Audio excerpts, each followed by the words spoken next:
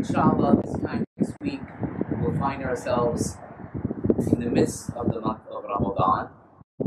We are in the final days of Sha'ban, and we ask Allah, as I said at the very outset, to afford us the opportunity to avail ourselves of all of the blessings that the month of Ramadan has in store. And they are countless and innumerable blessings we find available to us by the fadl of Allah subhanahu wa ta'ala in this month or in the upcoming month.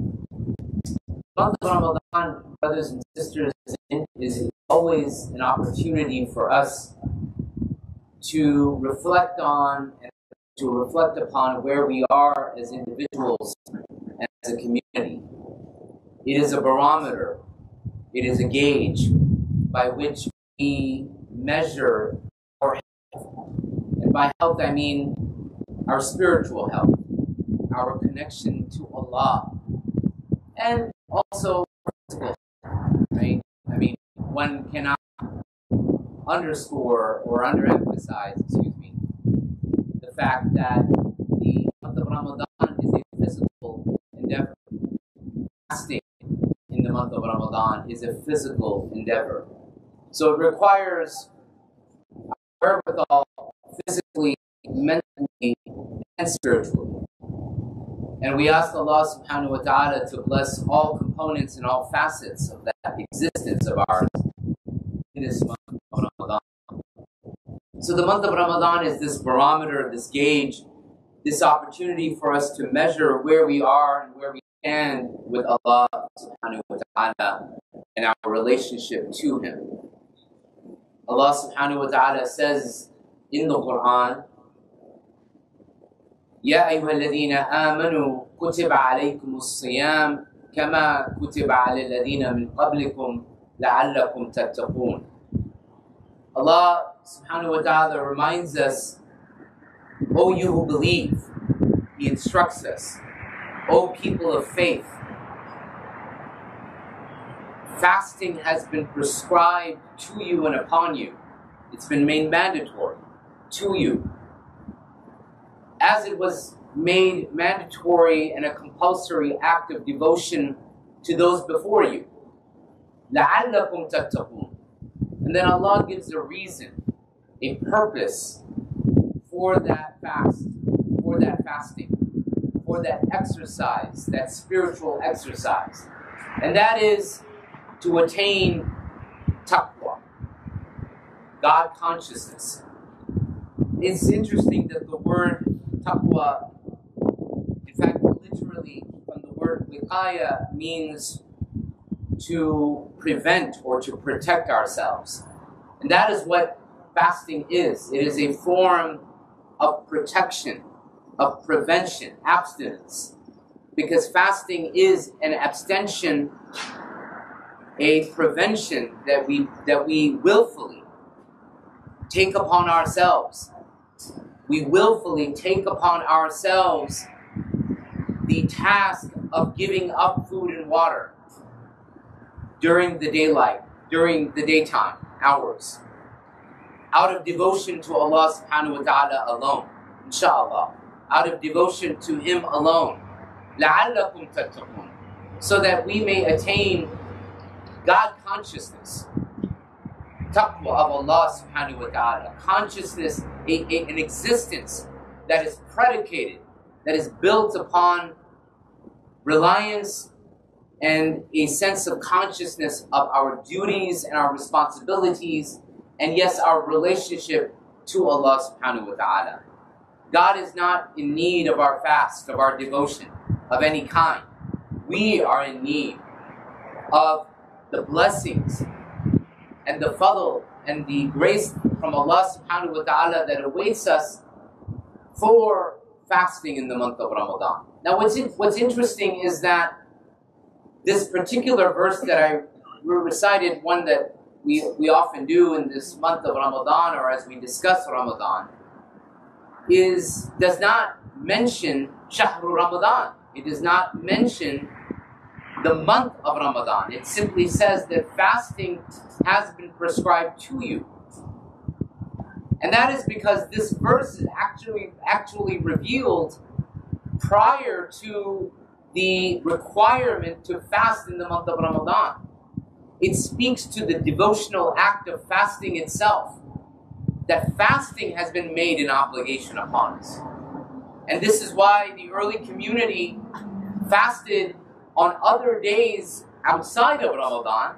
This is again before revelation came specifically uh, ordaining or requiring the fasting in the month of Ramadan.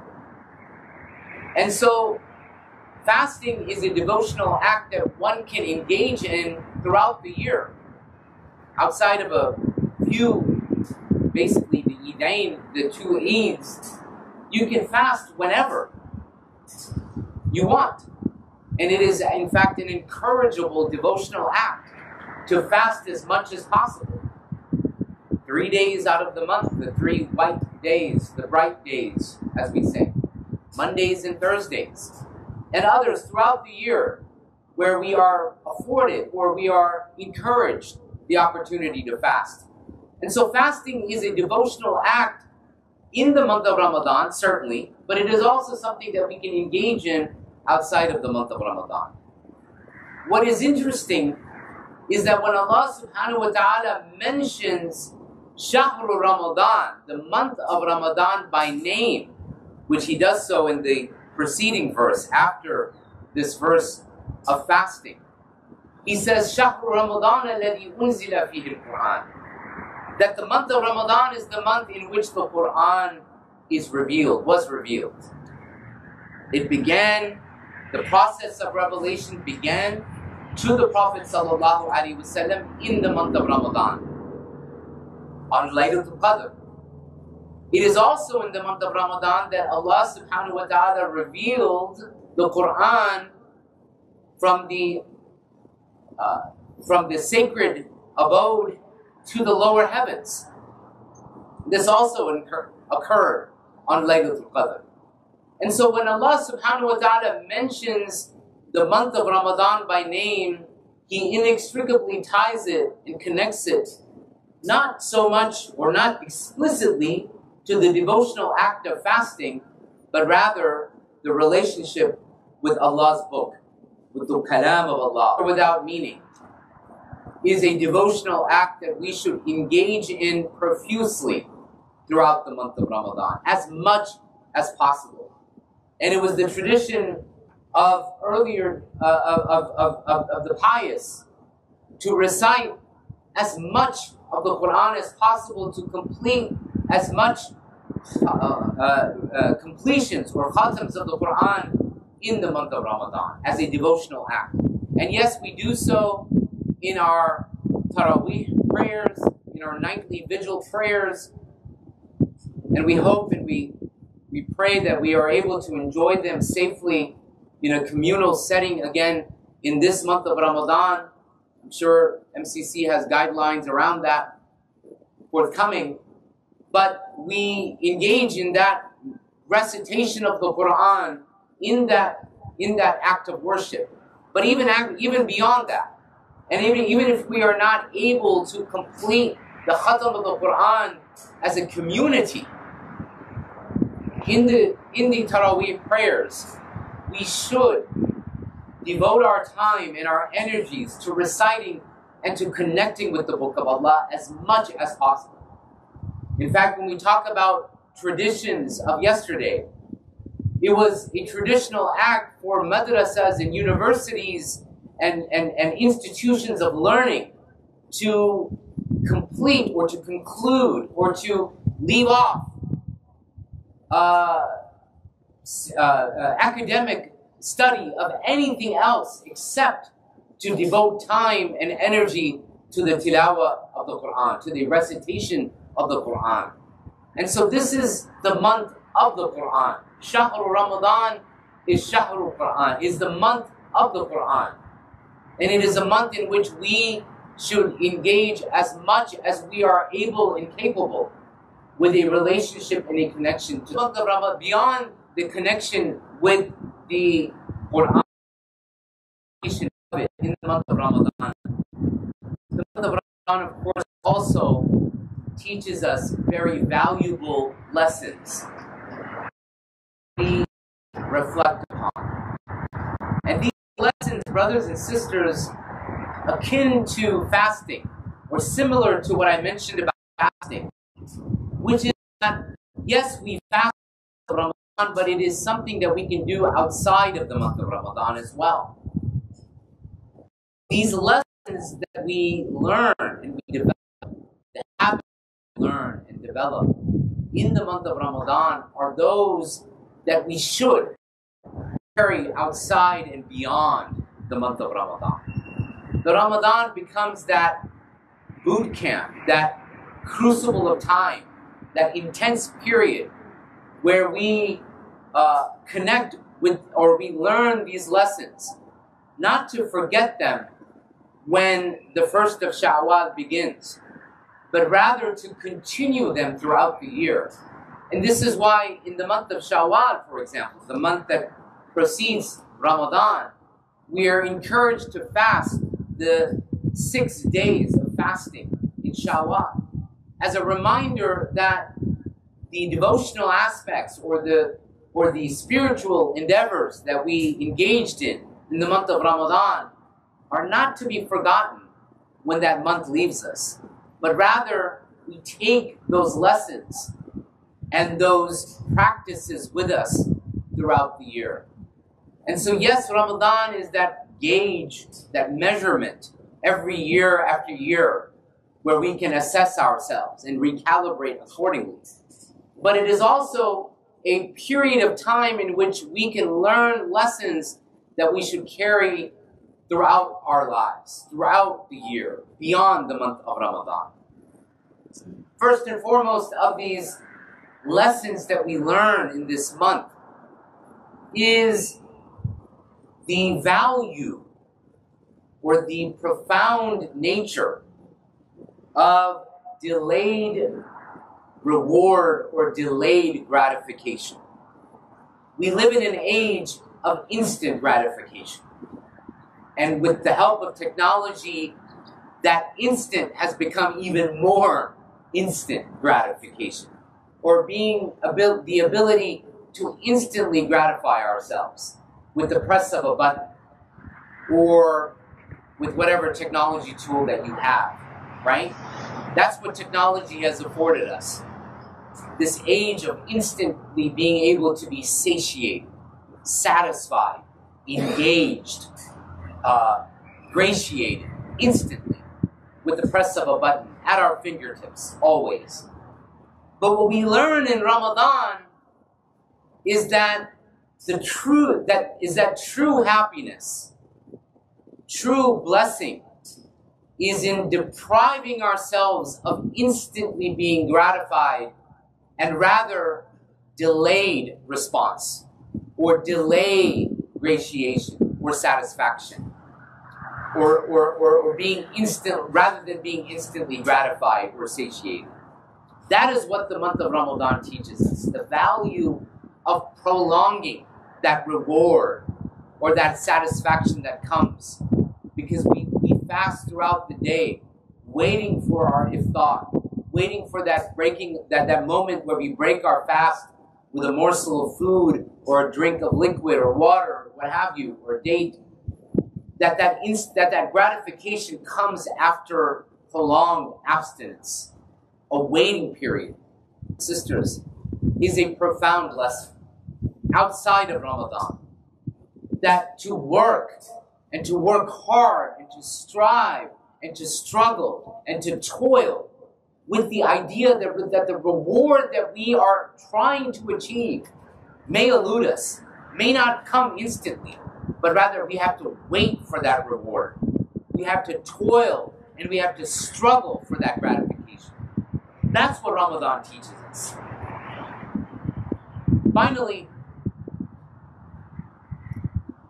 it is a the month of Ramadan is a profound analogy or lesson that we learn about the nature of life, the nature of this life, especially hayat dunya, the nature of our daily and worldly existence.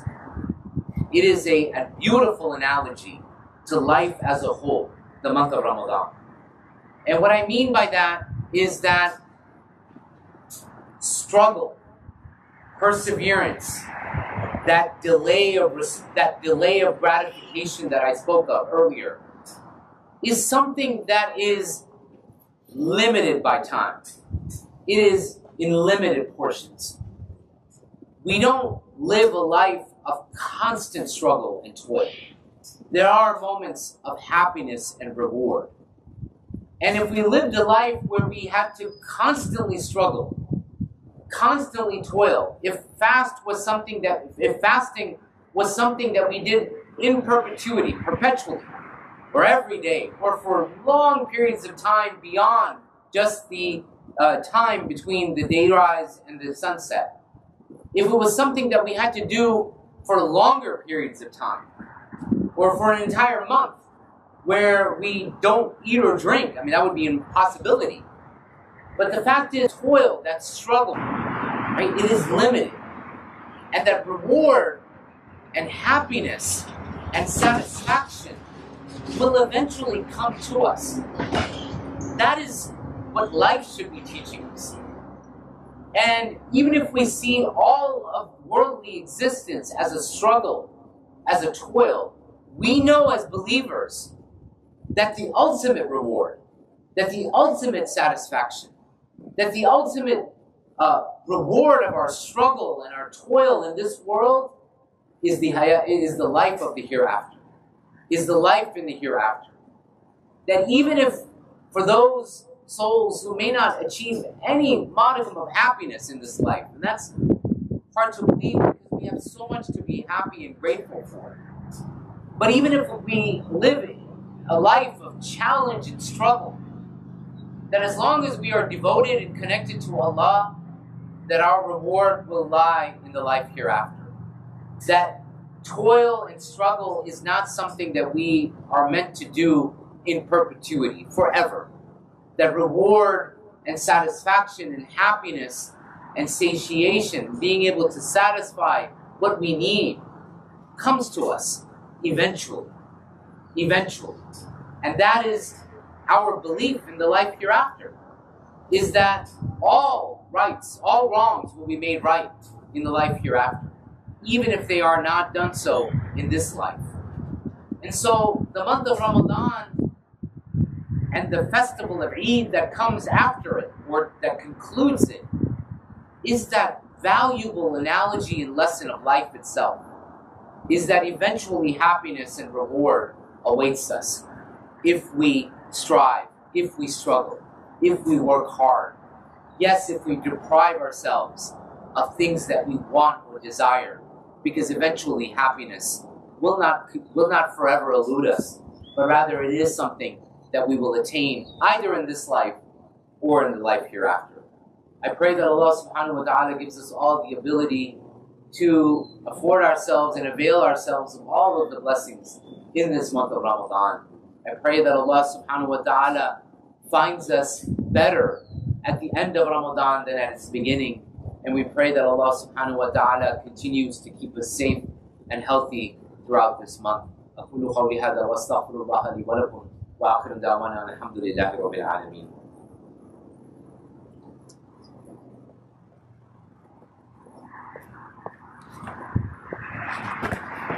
إن الحمد لله نحمده ونستعينه ونستغفره ونعوذ بالله من شرور أنفسنا ومن سيئات أعمالنا من يهده الله فلا مضل له ومن يضلل فلا هادي له. وأشهد أن لا إله إلا الله وحده لا شريك له. وأشهد أن محمدا عبده ورسوله. وصلى الله على سيدنا حبيبنا مولانا محمد وعلى آله وصحبه وسلم. يا أيها الذين آمنوا اتقوا الله حق تقاته ولا تموتن إلا وأنتم مسلمون. يا أيها الناس اتقوا ربكم الذي خلقكم من نفس واحدة. وخلق منها زيتي الله ورسوله فقد فاز فوزا عظيما. أما بعد اللهم صل على سيدنا حبيبنا مولانا محمد وعلى آله وصحبه وسلم. ربنا لا تؤاخذنا إن نسينا واخطانا ربنا ولا تحمل علينا اسرا كما حملته على الذين من قبلنا. ربنا ولا تحملنا ما لا طاقة لنا به واعف عنا واغفر لنا ارحمنا أنت مولانا وانصرنا على القوم الكافرين. يا مقلب القلوب ثبت قلوبنا على دينك. يا مقلب القلوب ثبت قلوبنا على دينك. اللهم نسألك رضاك والجنة ونعوذ بك من سخطك والنار. ربنا آتينا في الدنيا حسنة وفي الآخرة حسنة وقنا عذاب النار. وصلى الله على سيدنا محمد.